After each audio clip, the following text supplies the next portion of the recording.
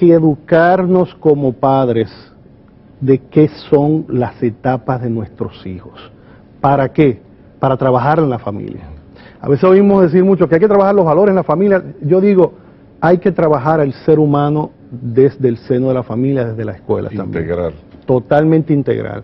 Y, y eso implica un trabajo de conciencia, un trabajo de educación, por eso trabajaba la educación. No solamente la educación formal, la formativa de, de, de, lo que es la universidad, por ejemplo, sino una formación desde senos como este programa, desde, como decían las músicas, pero como 300 canales tiene el cable, qué sé yo cuántos, ¿cómo controlas tú? Yo digo siempre que no hay que escandalizarse, porque nuestros hijos están expuestos, televisión, computadora, iPhone, iPad, todos los hay del mundo. ¿Cómo domina uno eso? Claro, entonces, eventualmente ese niño o esa niña, no porque quiere, no porque tiene la conciencia, sino porque los otros niños también, no porque tienen, no tienen la conciencia, el medio los va envolviendo, pues ir bajando a ellos. Es como una cadena. Es una cadena. Si, Benito no le compra algo a, a niña, Sara, claro. ella se va a sentir mal, porque la escuela va a ser una, una eh, eh, eh, bata atrás, como dicen ellos. Pero espérate un momentito. José Rosado, yo me la paso trabajando. Claro. La mamá se la pasa trabajando. Los adultos tenemos una obligación y una carga de trabajo buenísima hoy en día. Mis hijos no van a estar en una cajita de cristal. Nunca.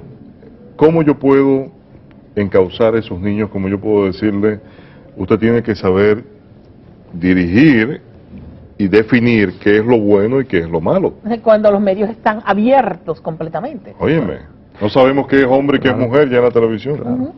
Decía la conciencia y se crea a través de, de la interacción con el niño o el adolescente ya no estamos en un tiempo donde se le, se le dice, tú es esto, esto, esa, esa imposición.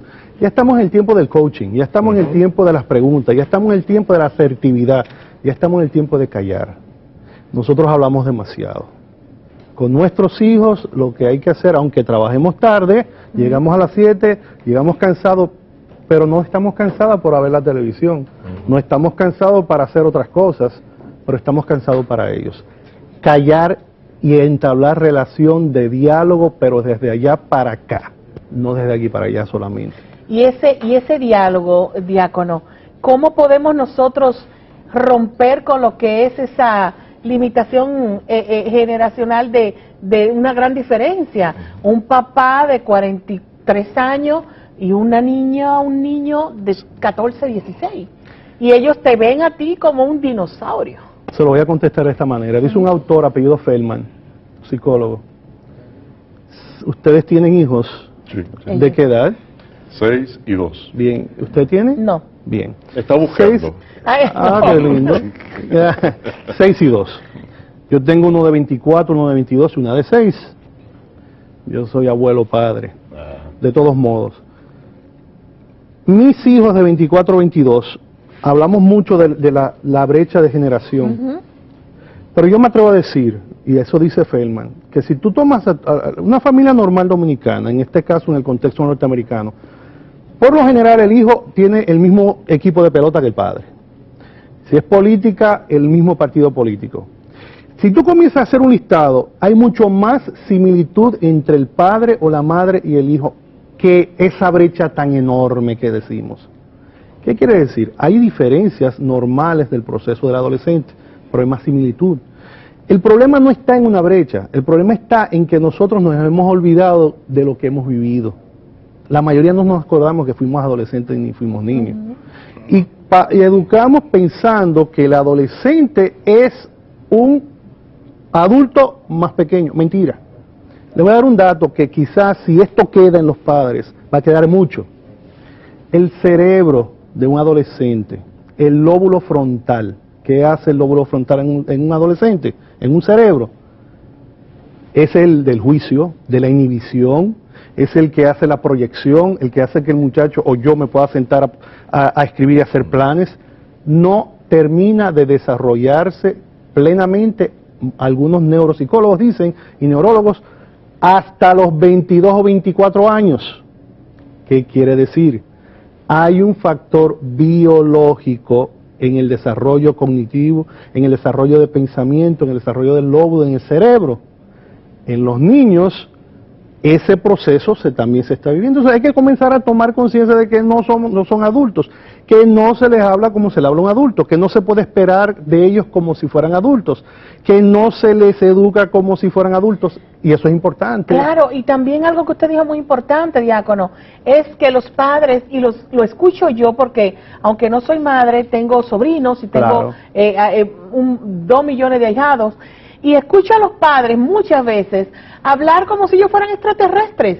Y yo le digo a las amigas mías a veces, eh, ¿tú te acuerdas que a ti se te quemaron como cinco materias en ese, en ese curso?